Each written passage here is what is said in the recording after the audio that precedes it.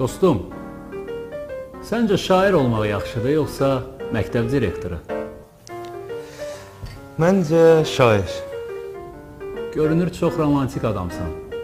Niyə elə düşünürsüz ki? Deyirlər axı bu həyatda çox şeyi pul həll eləyir. Özünüzüz ki, çox şey. Hər şey yox. Təki sən deyən kimi olsun hər zaman. Qonağımız gəlsin, görək o nə deyir bu barədə. O çox məşhur şairin sevgisini onun adından sevdiyi qıza çatdıran, yaşına görə çox xarizmatik görünən, enerji ilə coşub çağlayan, əvvəllər məktəb direktorunun mavini, indi isə çox məşhur bir şairdir.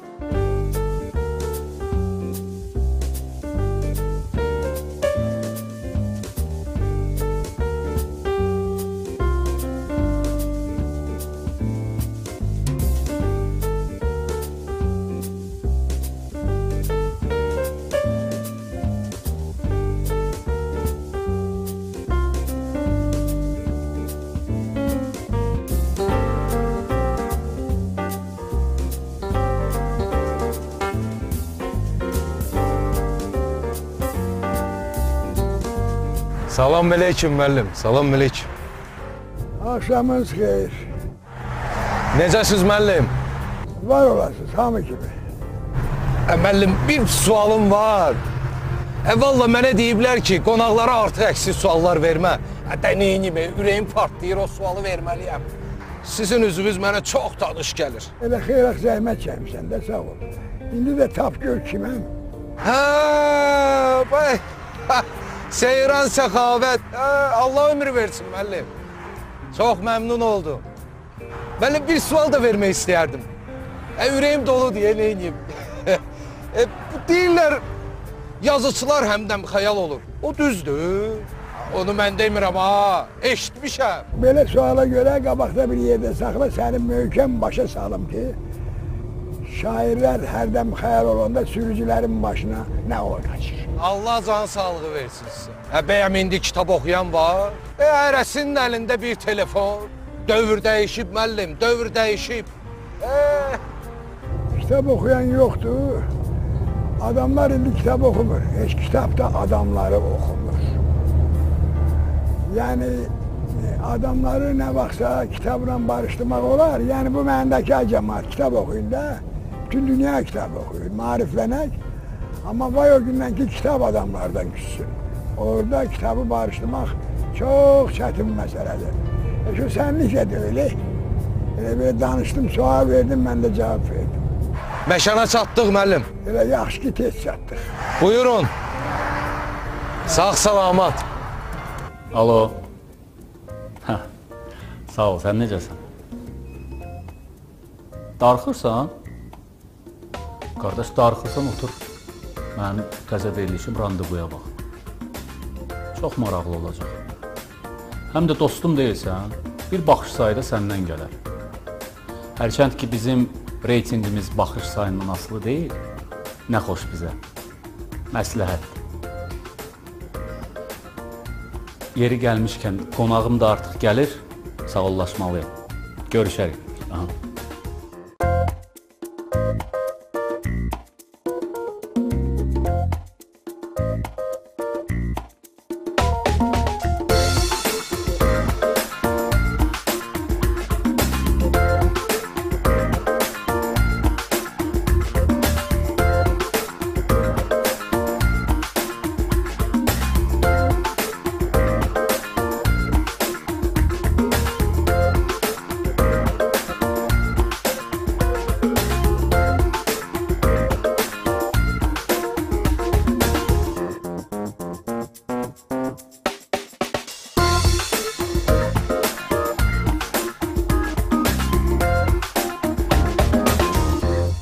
Yazıcı, publisist, şair, dramaturq Seyran Səxavət. Xoş gəlmisiniz. Çox sağ olun. Var olasınız. Necəsiz? Ruh halınız necədir? Əhvalınız necədir? Elə əlimdə ovcumda olan babat o ruhdur. Əladır. Yerdə qalanlar biraz yaralı, xoralı, biraz belə, biraz elə. Amma ruh əladır. Hər zaman ruhunuz sağlam və əla olsun. Çok sağ olun sizinle beraber. Söhbətə keçid almamışdan öncə istərdim sizə çay ya qəhvə təklif edim ki, söhbətimiz də gözəl ahəngdə getsin. Yaxşı olur. Buradan da çay ve kahve olur da mi? Söhbətimizdən asılıdır. Heh, oldu ben çay. Dostum, zəhmət olmasa. Seyran mənim üçün çay, mənim üçün bir qəhvə. Acılı. Şair, niyəsə mənə elə gəlir ki, dünyamız heç vaxt bu qədər qarışıq olmayıb. İndiki dövrdəki kimi. Sizcə nəyə görə belədir? Sana elə gəlir, onu yaxşı dedin. Bəri başdan özünü sığurtalayırsan. Çünkü sen dünyanın bütün vaxtlarında yaşamamsan, uzaq başı kitablardan oxumusan. Dünya həmişə qarışıb. Dünyanın heç vaxt bəxtəvər vaxtı olmayıb. Və bugün də dünyanın çox qarışıq vaxtıdır. Bilirsiniz, elə bir dünya çox uzaq bir səfərdən artıq yorulub. Buna belə dincəlmək lazımdır. Dünyaya dincəlmək lazımdır. Mən həmişə deyirəm ki, adam yol deməkdir mənim üçün. Əgər adam yoldursa, deməli dünyada adamlar, bəşəriyyət də böyük bir yol deməkdir. Biraz dincəlmək lazımdır. Biraz e, necə deyim, elə eləmək lazımdır ki, adamların sözü bir-birinin boğazından rahat keçsin. Biraz hər şeyi təzdən başlamaq lazımdır. Biraz ilan kimi qabıq qoymaq lazımdır. O ilan qabıq verəndən sonra görürsən, elə gözəl olur ki. Düzdür, onun ixtisası, məqsədi, məramı o qədər dəyişən deyil. Dəyişmir o qabıqdan. Gözəl qabıq. Bəşəriyyət də kimisi gücündən bir dəfə qabıq verməlidir, qabığından çıxmalıdır ya, yaxşı mənada.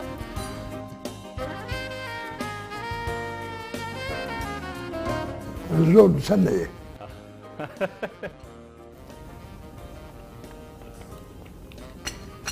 Bir müsahibənizdə demisiniz ki, dünya Allahın Çin olmuş yuxusudur. Biraz bu barədə açıqlama versəz çox maraqlı olar.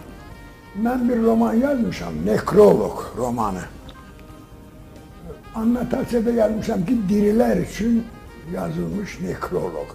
Nekrolog ölüler için yazırlar. Ben diriler için yazmışam. O romanın axırıncı cümlesidir o. Dünya Allah'ın Çin olmuş yuxusudur. Açıklaması da çok sadedir. Bu dünya o kadar qəlizdir ki, bu dünyanın mənə elə gəlir ki, bəlkə mən bir bəndə olaraq, insan olaraq fikirləşirəm. Allahın istedadına, onun imkanlarına o kadar da bələd dilim yoxdur axı. Bilirəm ki, o vahiddir və böyükdür və rəhm eləyəndir, onu bilirəm. Allahın yerdə qalan imkanları haqqında mənə elə mükəmməl məlumatım yoxdur, elə bilirəm ki, heç başqa bəndələrində mükəmməl məlumat yoxdur. Mənə elə gəlir ki, bu cür dünyanı Söhbət ancaq yer kürəsindən getmir ha. Kainat, galaktikalar falan. Onu birbaşa yaratmaq olmaz. Mən elə gəlir ki, Allah əvvəlcə dünyanı yuxuda görüb, sonra yuxusunu Çin olub və icra edib və dünya yaranıb, bizim dünya dediyimiz. Yəni bu e, romanın axırıncı cümləsidir. Onlar əvvəlin cümləsini deyim romanın. Buyurun. Yəni bu hardan gəlir? Bu göydən düşməyib də. Romanın əv, əvvəli belə başlayır ki, nekrolog romanı. Yeri gəlmişkən e, təvəzzökarlıqdan hərdən 2000 uzaq olmaq 2002-ci lazımdır. ildə Yazıçılar Birliyində Birliyi Yusif Səmədoğlu İlən yaxşı İlin ən roman yaxşı mükafatı. roman mükafatı. O belə başlayır. Araldan baxanda yer kürəsi çürük toxuma oxşuyurdu. Bir gül. Yaxından baxanda isə oxşamırdı, elə çürüydü. Belə başlayır. Və o bu ikisinin arasında bu iki cümlənin o Çin olmaq məsələsində indi dedim arasındakı yazıya nekrolog romanı deyilir. Ceylan Səxavət yazıb. Əminəm ki, söhbətimizin davamı daha da maraqlı olacaq. Çünki siz həqiqətən çox maraqlı bir insansınız. Çox saf ruhunuz var. Sizinlə bir masa arxasında əyləşib söhbət etmək ə, mənim üçün şəxsən bir xəzinədir. Və bu xəzinədən zövq almağa davam edirik. Sizin biraz gənclik illərinizə qayıtmaq istərdim. 1970-ci, 72-ci illərdə Sovet ordusunda xidmət etmisiniz və e, SSR Müdafiə Nazirliyində tərcüməçi çal kimi çalışmısınız. E, Yadınıza düşərmi orada tərcümə etdiyiniz ən maraqlı yadda qalan sənəd hansı olub? Vallahi. Ha, mən Bişkekdə, onda Frunze şəhəri idi, Qırğızstanın paytaxtı. Orada ali təyyarəçilik məktəbi vardı. Bizim Şərqi Avropadan olan dostlarımız yadınızdadır da Varşava Birliyi filan. Və müsəlman qardaşlarımız, ərəb ölkələr, hamısı gəlib orada təyyarəçilik oxuyurdular. Orada sənə deyim, mən elə əskərliyimi keçdim. Yəni yadımda qalan, yadımda qalan, yadımda qalan elə sənə səmimi deyirəm. Nəsib. Yadımda qalan o oldu ki, mən orada iki il qulluq eləmişəm. Belə detallı heç nə yadımda qalmadı. Yəni bir maraqlı bir şey olmadı. Əksinə darıxırdım. Burada bizim bir çayxana vardı Filarmoniyanın həyətində. Oraya üçün İndi də var. Elə indi də var o. var. Elə, elə indi də var. Elə mən İranda işləyəndə də şahın vaxtında tərcümə işləmişəm. Orada da hamı o rəhbərə yarını verirdi ki, onun vaxtını üçüncü ilə uzatsın. Mən də yarınırdım ki, mənim vaxtımı uzatmasın. E, tamam olan kimi məni buraxsın, çayxana qalıb. Sən demə çayxana mənim sevdiyim adamlar deməkmiş. Çayxana elə bir ancaq getdin çay içdin deyil. E.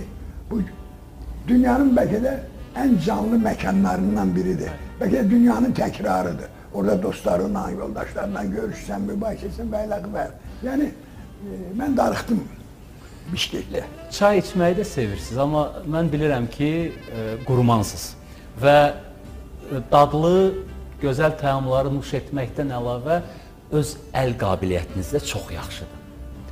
Yəni bu gənclik illərin, o tələbəçilik illərin yadigarıdırmı bu yemək e, bişirmə həvəsi, yoxsa Yox, düz deyirsən. mən e, deməli rayondan gələndə universitetə qəbul oldum Şərqşünaslıq fakültəsinə. Onda heç bir qayğanaq da bişirə bilmirdim. Həyat məcbur elər ki, bilirsən nə var? Anan yox burada, atan, bacın, heç kəsi yox. Həmişə də pul çatmıra gedəsən Araz restoranına biz gedirdik həmişə. O Azər Nəşrin yanında. Ora başladıq öyrənməyə. Kartoşkadan başladım mən yaradıcılığa. Belə demək mümkünsə, yəni e, mətbəx yaradıcılığına, Mən kulinariya. deyərdim ki, e, bütün e, aşpazların və yaxud da aşpaz olmaq istəyən insanların ilk təcrübəsi kartoşka Ha, qızartması. hamı keçər, zadı dəlləli kartofun başında öyrənirdi. Onu düz deyirsən. Orada sonra uzun illər keçdi. Mən indi özümü çox istedadlı, son dərəcə istedadlı bir həm də kulinar, yəni aşpaz. Nə kulinar bizim dildədir, nə aşpaz. Yemək bişirən hesab edirəm. Xüsusilə kişi xeylaqlarına aid olan yeməkləri heç kəs mənim qədər bişirə bilməz. Xaş, kəllə paça, içalat qovurması, qazan da mis olmalıdır ha. Odunun üstündə bişmək. Özdə odun üstə bişməlidir ha. Özdə onu yeməyə də yaxşı kişilər gəlməlidir ha. Onda- Orada hər şey yaxşı olmalı. Onda həm mədə üçün nuş olur, həm ruh üçün nuş olur. O- Orada artıq fikirləşmirsən. Orada sən keyfdəsən. Bişirmirsən, dostların gəlir. İndi insaflı dostlar tərifləyir də. Xasiyyətini bilən sənin gitmək üçün deyir, "E, bu biraz nə bilim nədir. O da bilirsən ki, elə belə deyil, səni cırlatmaq üçün. Bəs belə elegant qalmaq, belə formada qalmaq, həyat eşqi ilə coşub çağlamağın sirri nədədir? Valla onun elə bir sirri zadı yoxdur. Gərək biraz adamın canında, qanında ola, ona genetika deyirlər də, elə deyil. Bir də ki, qadan alımsan, yaxşı qalmaq üçün gərək canından heç nəyə əsirgəməyəsən. Pul xərcləyəsən. Pul xərcləmək lazımdır. Bildin? Pul xərcləyən adamların həmişə qəşəng görükürlər. Geyimlərdə babat olur, hürmətlərdə babat olur. Hər şey pul xərcləmək mənim aləmimdə ki, mən dünyanın hər yerini gəzmiş bir adam kimi deyirəm ki, normal ölkədə, normal dünyada sən demə qardaş, pul xərcləmək daha çətin imiş, nəinki onu qazanmaq. Şəşdin nə deyirəm? Hə, pul xərcləmək böyük mədəniyyət istəyir. Çox böyük mədəniyyət istəyir. Seyran müəllim pul xərcləməyi də bacarır, Vallahi pul qazanmağı da bacarır. Bəli, bir də mənə sual verdilər 50 illiyimdə. Pulu sevirsiniz. Dedim pulu xərcləməyi sevirəm. Bunlar doğrudan müxtəlifdir. Adam var pulu sevir, o da mənim qədər sevir. Amma bir yerə yığıb qoymaq, hərdən gəlsin, saysın, kef eləsin. Bədbəxt onu get kef elə də dünyanı gəz. Elə deyil. insana elə gəzmək qalır, xatirələr qalır. Ümumiyyətlə sana bir söz deyim, yeri gəlmişkən. E, mən artıq bu yaşda biraz gözüm o rengen şüası kimidir də. Belə adamları baxanda içində görürəm. Səhv elədiyim nə olur. Amma mən xüsusilə kişi xeylağı deyirəm. Amma bunu qadınlara da nə olar qoy aid olsun. E, e, insan olan şəxs, xüsusilə kişi, gərək həmişə puldan heç olmasa bircə millimetr yuxarı olsun. Pulla boyu bərabər oldu və yaxud boyu puldan aşağı oldu. Onun dədəsinin evi yıxıldı. Ondan nə kişi olacaq, nə ailə bacısı olacaq, nə yaxşı qonşu olacaq, nə yaxşı, nə bilim, e, bir peşə sahibi olacaq. Elə siz gəlməmişdən öncə mən ofisiantla söhbət edəndə söylədim ki, səncə məktəb müdiri olmağı yaxşıdır, yoxsa şair? O söylədi ki, mən şair olardım. Dedim, bəs pul qazanmaq filan? Dedi ki, pul çox şeyi həll edir, amma hər şeyi həll etmir. Elə sizin də zamanında məktəb direktorunun müavini çalışmısınız?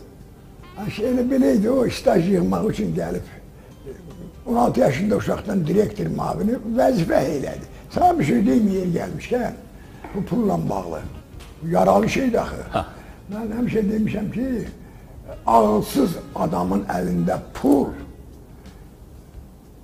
elə bir silah kimi, atom bombası kimi bir şeydir və istənilən bax o düyməni basıb dünyanı batıra bilər. Pul bizə nə dərdir?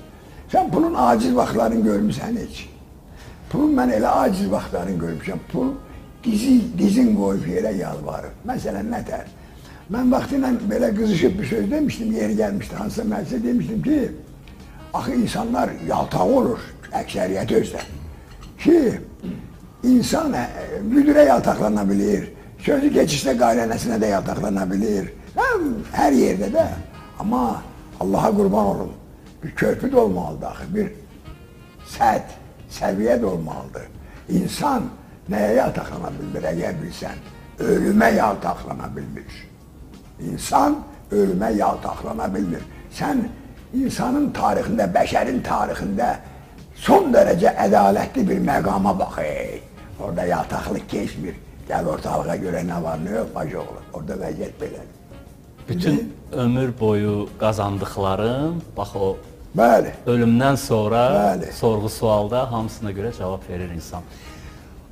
Pulun sehrindən danışdıq. Bəs pulun sevgiyə təsiri nə dərəcədədir sizcə? Pulun sevgiyə təsiri qətiyyən yoxdur. Amma O dövrlər yoxsa indiki dövrdən elə, o danışırsınız? dövrdə də olmayıb, indi də olmayıb. Sevgi hara, pul hara. Yəni hər zaman düşüncə tərzi insanın öz daxili aləmindən irəli gəlir. Məncə elə məqamlar olur ki, pul həll edə bilməyəcəyi məsələləri dostlar həll edir.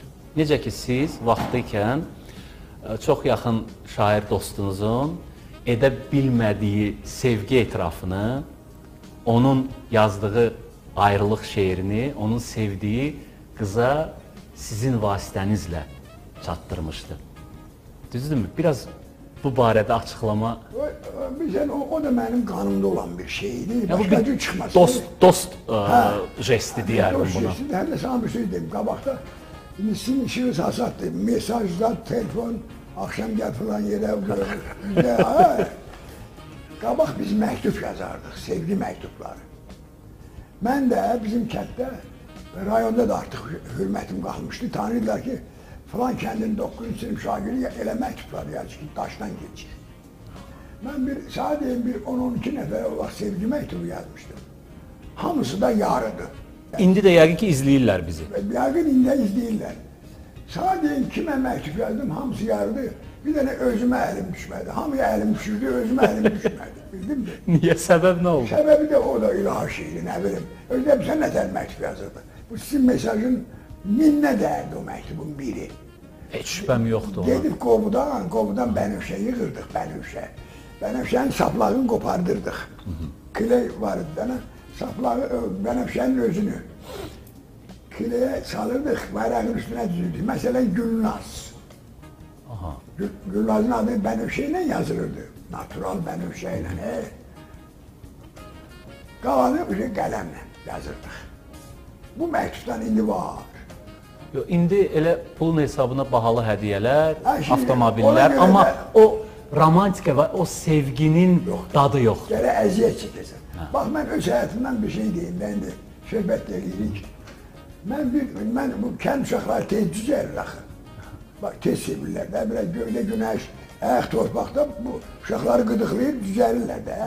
Mən bir dəfə 8-ci sinifdə oxuyurdum, qışıdır. Babamın o kerzıvi sapıq deyirlər e, rusca. O qalıb müharibədən. Havada pislik. Özü ağır olurdu, Ağır olur. Çox ağır olur. taktım. Gittim o kız gelin evin yanında o kadar dayandı ki. Sen deme maroz. İçeride ataplerini yanır. İçeride. Daxildən o sevginin Sevginin bəli o istisi. Təzə qoyurlar evlər. Kombi. Hə, içeride kombi işləyir axı belə. Amma çöldə belə. Ben o kadar orada durup bakmışam ki nədir nədir belki oradan geçti onu gördüm Şəbənddən. Ya gördüm gördüm ışıkla söndü. Ben o günlük bütün ümidim söndü. O ışıkla beraber. Ve ben sevde gedirem evimize de. Yeter ki ayağımı ile gördüm ayağım donup yapışıp yere. Bildiğin.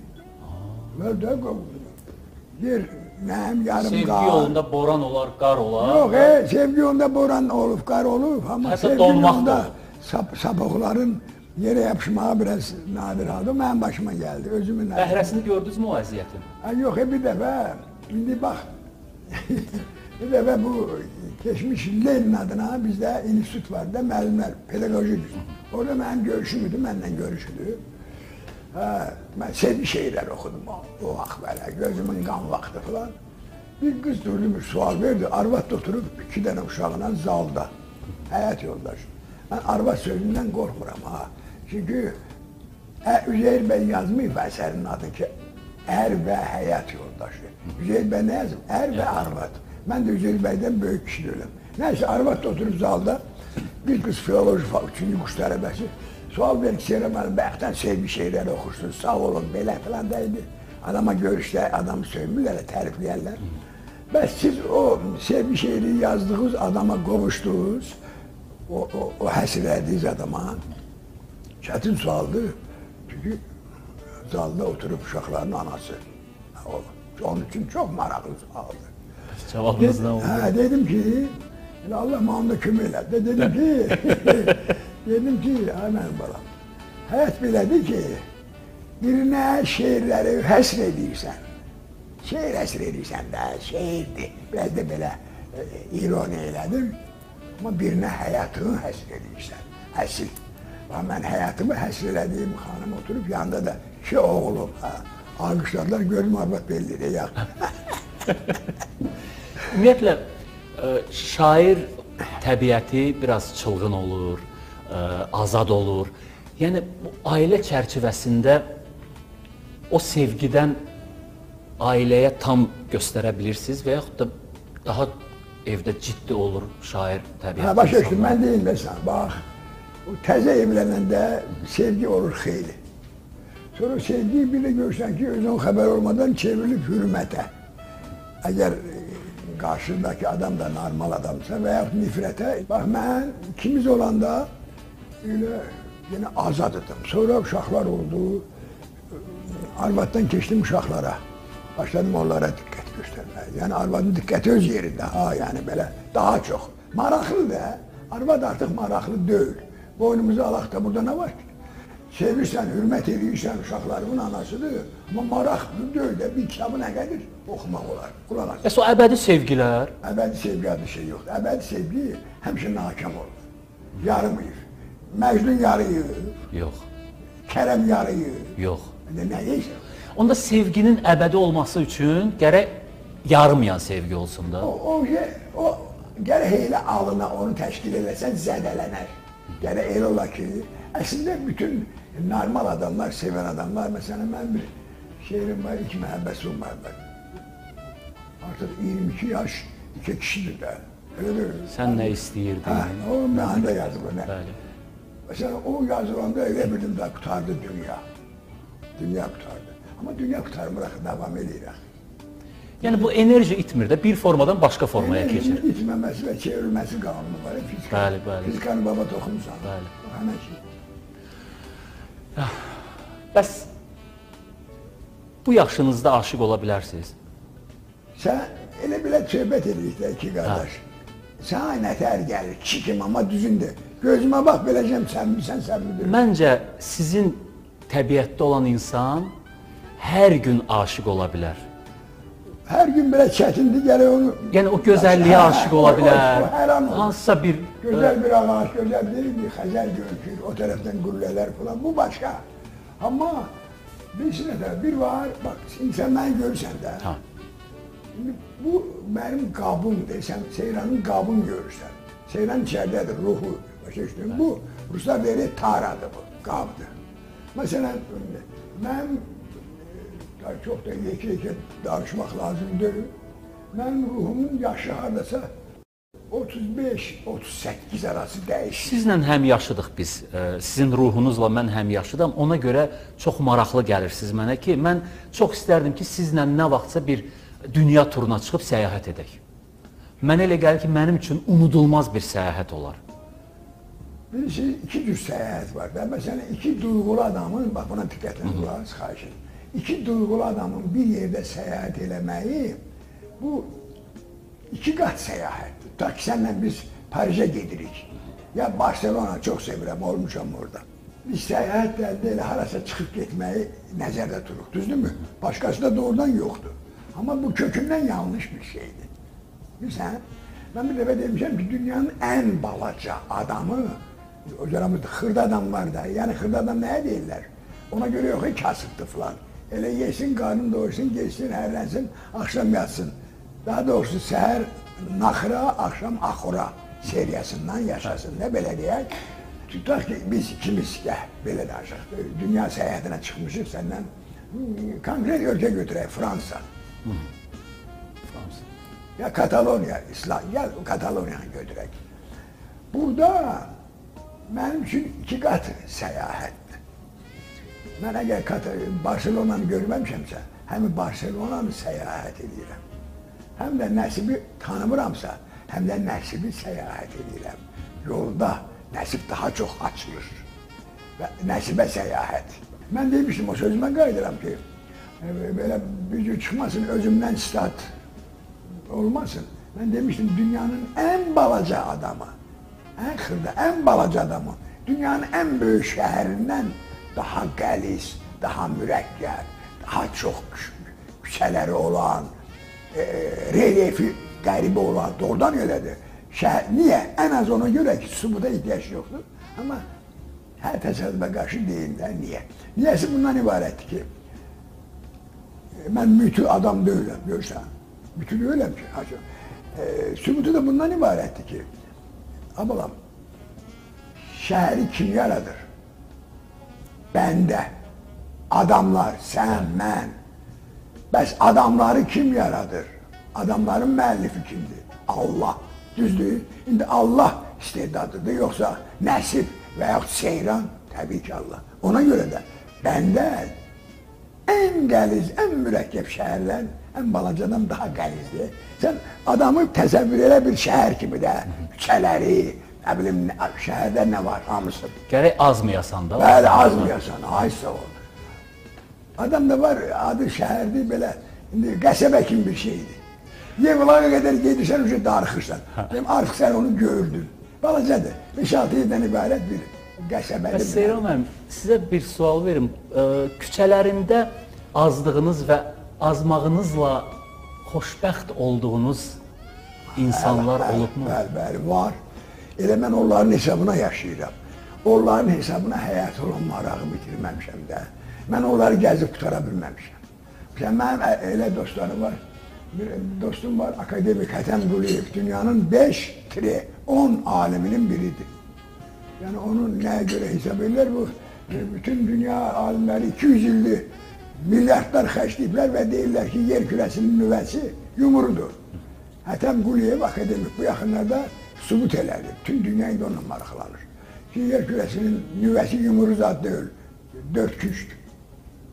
Deməli 200 il xərclənən pullar, yazılan kağızlar hamısı getdə var. Hətəmin işi mən yarısını gəzib qutarmamışam. Halbuki 58 ildir onunla biz bir yerdik. Maşallah. Məsələn dostum Adil Hacıyev. Yeri gəlmişkən o "Ey, içkinin ən yaxşı zakuskası otduğun kişilərdir. O Adil Hacıyevin sözdür. O, mən onu da gəzib qutara bilmədim, o çıxdı getdi. Getdi o dünyaya. Dostum Zeynal vardı. Mən amma bəzən o gəzmədiyim, onların gəzmədiyim küçələrini, o adamların gəzmədiyim küçələrini bəzən yuxumda görürəm, inanırsan. Mən özdə elə çox yuxu görən deyiləm. Mən realist adamam. Bu dünyaya o qədər bağlıyam ki, yuxu muxu mənim üçün biraz o qədər də səndən önəmli. Reallığa bağlı Bax, real, bax belə əlimi vururum ki, bu nəsib nəsibdir. Bəs Seyran müəllim, bax sizin bu söhbətlərinizdən mən belə qənaətə gəlirəm ki, dövrümüzdə insanlar arasında yaranan uçurum, soyuqluq elə o küçələri gəzib dolaşmaq istəməmə, istəyi olmamaqdır. Yəni insanlar bir-birinə sadəcə üzdən e, yaxınlaşırlar, o iç dünyasına keçmirlər. Əvvəl uzun illər bundan öncə ə, qohumlar arasında olan isti münasibət, dostlar arasında olan isti münasibət artıq yoxdur. Bir virtual soyuqluq yaranıb. Realist insan Bəli, olaraq bir-birini kəşf etmək bəli. insanlar arasında körpüləri daha da sıx edir Mən məncə. Gəlmişə sən bir söz deyim, bu dostların küçələrində azıb, azıb qalmaq. Allah elə mənim bütün hörmət elədiyim adamlara elə dostlar qismət eləsin ki, o adamlar o dostlarının küçələrində azıb qalsın, bir yana çıxa bilməsin. Yer gəlmişkən bizim çox böyük ziyalımız o vaxt Şura hökuməti onu yola vermədi. E, Mikail Rəfili eşitmiş olarsınız. Ədəbiyyatşünas, şair. Ondan soruşmuşdular ki, şair sizin nəzərinizdə kimdir? O demişdi ki, oxşardı, o üçün yadıma düşdü, asosasiya verdi. O demişdi ki, şair meşədə azıb qalmış, heç yana çıxa bilməyən bir uşaqdır. Möhtəşəmdir, dahiyanədir. Bilsən, hayf gör adamın dostu ola, azıb qalasan. Azıb qalasan. Məsələn, mənim ən böyük dostlarımdan biri Azərbaycanın çox nəhəng aktyoru. Azərbaycanda çox nəhəng ailə başçılarından biri. Azərbaycanda çox nəhəng qonşulardan biri. Azərbaycanda çox nəhəng dostlardan biri. Hamısı nəhəng. Bütün mövqelərdə Fuad Poladov. Bu adam bəxləri Mintaş xanımla söhbət edir. Dedim, açıq da boynumuza alaq. Biz Rus aktyorlarını tanıyırıq, dünya aktyorlarını tanıyırıq. Bizim adətən aktyorlarımızın, mən cəsarət ilə deyirəm, 95, bəzən 98 faizə qalxış şkala özlərinin sözü olmur, özləri danışa bilmir. Bəlkə ondan irəli gəlir ki, bunlar o qədər başqa yazıçıların əsərlərini, o qədər özgənin sözünü deyiblər ki, Özgələşiblər. özgələşiblər Aysoğul və o, o, o müəlliflər tak Shakespeare, Hamlet oynayıb hansı aktyorumuz, onu elə bil işğal edib. Bizim aktyorlarımız o mənada elə bil bəzdə işğal olunmuş müəlliflər tərəfindən adamlardır. Amma Fuad kimi nəhəng heç vaxt işğal olunmadı. Həm gözəl oynadı Hamleti, Qacarı, Napolyonu. Əsl səhnədə və həyatda Bəli, kişi obrazının kişi, bariz bəli. nümunəsi. Sən nə var? Mümkün deyil. Sən səhnədə kişi olasan həyatda belə avaran biri. O Fikrət Sadıq Allah rəhmət eləsin. Allah rəhmət Bayaq dedim onun bir şeiri vardı. Deyir ki zırna çalanlar eşitmişsiniz zurna, qara zurna. Qara zırnaçılara yazıb deyir çox balaca bir şeydir. 5-6 söz var orada. Amma bütün bəşəriyyətə aid. Fikir verir. Deyir üç cür olur zırnaçılar. Biri elə zurnaçılar, biri belə zurnaçılar, bir də elə belə zurnaçılar. Yəni, Qədir möhtəşəmdir. Möhtəşəmliyi onun poetik ifadəsində falan da deyil. Möhtəşəmliyi o boyda həqiqəti ilk 3-4 sözlə deməyindədir. Bəs musiqiyə münasibətiniz necədir? Musiqi Musiqiyə münasibətim mənim Bəyəsanla bağışlayın dərsiz. Mən özümü Azərbaycanda 5-10 nəfərdən biri hesab edirəm. O 5 nəfərin biri ki, mütləq sluxum var musiqi. Muğamı bilirəm. 60 illiyində Respublikanın əməkdar artisti Mahmud Tarzan var idi. Bəli. Şövkət xanla işləyir. Onun müşayiəti ilə Mirzə Hüseyin Seygahı oxumuşam. Özdə kimin yanında? Dədə Süleyman Abdullayevin və Qəndəf Quliyev oturur. Cəsarət lazımdır axı. Nəsə zümzümə bu axşam indi mümkün deyil. heç muğam olmasın. Yox. Sevdiyiniz bir hər zaman zümzümə dost məclisində zümzümə Demək deyil, etdiyiniz bizim bu, indi mən Qarabağlıyam. özümü çox möhtəşəm Qarabağlı hesab edirəm, böyük Qarabağlı. Və böyük Qarabağlı olduğuma görə də babat Azərbaycanlıyam. Və babat Azərbaycanlı olduğuma görə də e, belə də o qədər də pis olmayan dünyavi adamam. Başa düşdüyümdə də. Hə. Və mən e, e, e, bir verilişdə oxumuşam. Segah Zabulun o segah yerindən. O axyarına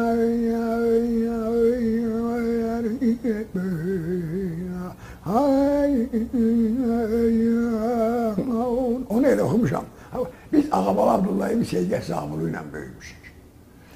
Biz Yəni, şey, damarda xan qan kimidir də. Yəni bu e, artıq genetik kodda yazılıb bu muğam. Heylədi ama bir fərqi də var. O sən dediğinin xeyrinə. Damarda xan qan kimidir. Amma bu sevgi, musiqi olan bu həvəs, damardakı qanda qan təzyiq olur. Amma bu eşqidə, bu həvəsdə heç vaxt təzyiq olmur. Süper bir şey. Aram-aram axır. Bəli, heç vaxt Hər şeydə elə aram-aram ahəstə olanda daha gözəl olur. güclüdür də. O güclüdür də. Elə dost məclisləri də, səyahətlər də, Tələşən təndirə düşər. İndi bəşəriyyəti tutan hamısını bir təndir təsəvvür edə bilərsən, çətindir də, elə deyil. Amma mənə gəlir ki, sən bəlkə sualının bir cavabı da buydu əvvəlki. Bəşəriyyət çox tələsir və biraz da təndirə düşür. hara Elə olan tələsir? təndirə, Hara tələsir? əgər başa düşsələr ölməyə, dünyadan getməyə, hara tələsir? Dünya gözəldir də. Musa Yaqubla bağlı bir şey deyim. O da mənim sevdiyim adamların, küçələrində azdığım adamlardan biridir. Mən bilmirəm neçə seyran var. Bir dəfə soruşdular ki, neçə seyran var? O, ax, adamların o ikili falan. Dedim vallahi seyran həmişə biri olub, birinin öhdəsindən gücün gəldim. İkisi olsa mən çoxdan batmışdım. İndi Musa Yaqub o bu yaxınlarda görmüşəm deyirəm. E, Mənə zəng edib ki, "A, hardasan? Niyə zəng eləmirsən?" deyirəm Hamza. Hər gün nə zəng? Ay o qabaqda hər gün zəng eləyirdi. Dedim qabaqda deyirdi ki, gedirəm dedim. Yəni o dünyaya gedirəm. Biz də deyirdik nə qədər çox danışsaq qənimətdir də. Sonra da fikrini dəyişdim, gördüm gəlib oturmuşsan Yazıçılar Birliyinin yubileyində, opera teatrında. Uşaqlar dedi ki, Musa müəllim buradadır. Gəldim, ay Musa, xeyir olsun. Sən axı burada olmalı deyildin, başqa yerdə olmalı. Aa, gedirdim, e, bir işim vardı, yarım çıx. Dedim, qaydım onu da görüm, sonra gedərəm də. Elə sonra da ilişdim, qaldım buralarda. Seyran müəllim, bəs bu insanlar dərk edir ki, bir gün gələn bir gün gedəcək. Nə üçün bir-birinə pislik eləyirlər? Hə, bir sənə tədi olun, belə vəziyyət bu gündə burada. Əslində dünyada insan arada, məsələn, birinin oğlu evlənir, deyir, mən xoşbəxtəm. Ha, biri nəsə vəzifə qururlar, xoşbəxtəm. Məsələn deyirəm. Əslində bunlar hamısı uydurma şeylər. Özünü Allah allatmadır. O arada bələdə deyir, o xoşbəxt bekara söhbət. Bekara söhbətdir, yalandır kökündən. İnsan mənim aləmimdə, mən baxan tərəfdən. İnsan iki dəfə xoşbəxt olur cəmisi, ikicə dəfə. Bütün həyatı boyu. Bəli, ikicə dəfə. O əsl xoşbəxtlikdir. O xoşbəxtlik sözünə də hörmət gətirən bir anlamdır. Nədir? İnsan bir dünyaya gələndə xoşbəxt olur. Bir də dünyadan gedəndə xoşbəxt olur mənim mənsim. Bu ikisinin arasında qalan şeyə də ömür deyirlər. Ömür. Yoxsa günləri əlim gətirir, filan olur, xoşbəxtim bu nə avara şey. Məsələn, bu saat hələ yer kürəsi o qədər də cavan deyil axı. Artıq həddi buluq yaşını da çoxdan keçib. Bu saat dünyaya gəlmək üçün milyardlarla adam növbə gözləyir. Məsələn, əgər o növbədə bir sarı arıq kənd uşağını böyük Allah görüb deyib, "Ə, uşağı biraz qabağa salın, bu biraz uşağa oxşamır. Və mən dünyaya gəlmişəmsə, deməli mən xoşbəxtəm. Bəs dünyadan köçəndə niyə xoşbəxt olur? Dünyadan küçəndə yorulmusan, başqalarına əziyyət verməyə başlayırsan. İstər-istəməz ətrafın lap doğmaların da başlayır deyinməyə. Hətta özün də deyirsən Allahdan istəyirsən, ölüm istəyirsən də. Elə bir ölüm elə belə şey deyil. Ölüm doğumdan da bəlkə vacib şeydir. Ölüm doğumdan da son dərəcə bəlkə maraqlı şeydir. Niyə? Çünki doğulursan, həmişə kef eləmirsən ha. Əziyyət, əzab, e, uğursuzluq, sənə şər atan olur, min dənə şey. Haqqını yeyən olur, Haqqı- haqqına girən olur. Sənə qarşı ədalətsizlik olur. Bir kəlmə onun içində hamısı gedir. Amma doğulandan sonra bu doğuş, xoşbəxtlik sonra. Amma öləndən sonra bunların heç bir şey olmur axı. Ölən olmur. Heç kəs sana qarşı ədalətsizlik eləyə bilməz. Mümkün deyil. Sən Allahın dərgahındasan. Və orada da sorğu-sualda bu ilk xoşbəxtlikdən sonra baş verənlərə görə sorğu-sual olunur. Bu soru sual mən orada olmamışam mən hələ. Hələ getmək fikrimdə yoxdur Musa demişlər. Soru sual zət mənə eləyən olmaz. Görüləsi işlər Həm də çoxdur. mahilə gəlir ki, mən o qədər məşq eləmişəm. Mən biraz möhkəm deyənmərəm öz aləmimdə. Özüm hərdən özümə də baxıram axı. Güzgüdə yox, e. Özüm özümə də baxıram. Mən biraz özümü vicdanlı adam hesab edirəm. Və o ayaqdan özümə o qədər sorğu sual eləmişəm. O qədər məşq eləmişəm. O dünyanın sorğu sualı heç mənim vecmədə deyil. Onları özümə vermişəm dəfələrlə, cavabını da özümə vermişəm. Sual da vermişəm özümə. Cavabını da öz- özümdən almışam. Bəs bu şirin, həzin və sizin daxili dünyanızın küçələrində mən azdım və çox xoşbəxt hiss edirəm özümü bu azmağa görə. Həyatda nəyə görə peşmansınız? Bu sonuncu sualımdır sizə. Bu randevumuzun sonuncu sualı. Mən olub ömrümdə o qədər olmasa da dəfələrlə peşman olduğum olub. Amma təxminən bir 15 il bundan qabaq o peşman olduğum məqamları gətirmişəm gözümün qabağına və demişəm, Seyran, bunlardan ötürü peşman olmağa dəyməz. Və deməli mən heç vaxt peşman olmamışam. Yəni heç bir peşmançılıq Heç yoxdur. qəti, qətiyyən. Mən arzu eləyirəm ki, Seyran müəllim, sizi kimi dəyərli ziyalılarımız bütün gənclərə bir çıraq olsun. Sizə arzu eləyirəm ki, ruhunuz hər zaman 35 yaş olsun Sağ ol. və hər zaman belə enerjili, coşub çağlayan dostların dünyasının küçələrində azasız. Allah məni oradan çıxartmasın heç elə, orada azım qalım.